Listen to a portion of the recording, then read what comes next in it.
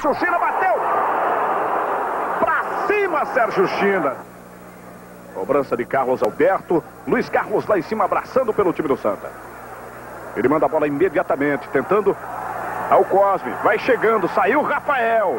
Embolou, mas a bola termina sobrando para Oswaldo, que acalma tudo pelo time do Curitiba. Estão caído ali.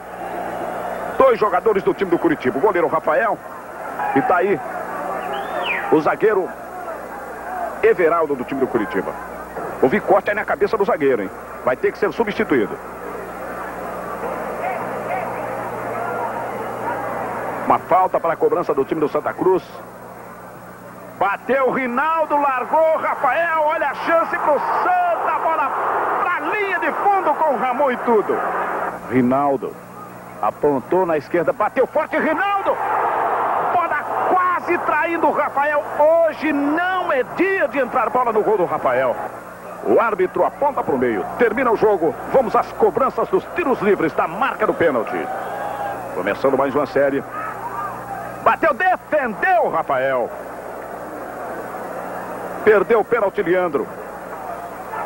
Partiu Oswaldo. Bateu e gol. Coritiba ganhou dois pontos, 0 a 0 no tempo normal.